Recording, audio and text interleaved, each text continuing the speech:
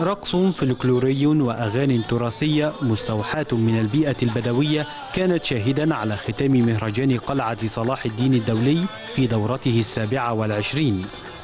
الليلة السادسة عشر والأخيرة شهدت حفلا لفرقة العريش للفنون الشعبية بهدف تقديم الفن السينوي في قالب عصري. شرف لينا عامة وللفرقة إن إحنا نشارك مهرجان محكى القلعة.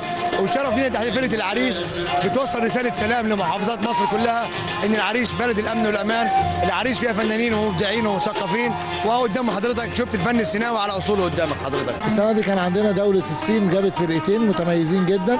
كان عندنا المكسيك وبنما وفلسطين. وبنعتبر إن الفنان مجدي القاسم سوريا يبقى إحنا بعد كده عندنا سوريا كمان. إن شاء الله السنة الجاية آه إن شاء الله إن شاء الله يبقى في أكتر من 10 بلاد إن شاء الله. فيما كان لختام المهرجان مسك بتقديم مجموعة من أغاني المطرب المصري مدحت صالح والتي اشتهر بها خلال مسيرته الفنية. إحنا بنطلع في دماغنا حاجات كتيرة قوي بس البروجرام بيت بيتعمل ساعة الناس. لأنه ساعات بيبقى في دماغنا نعمل كذا ونحس إن الجمهور يفضل كذا تاني. أكثر من 30 عرضا موسيقيا وغنائيا شهدها المهرجان الذي انطلقت أولى فعالياته في الثاني من أغسطس الجاري.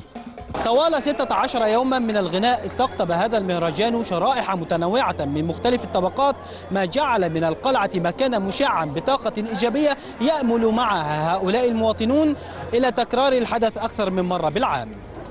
كريم شيخ الغد القاهرة.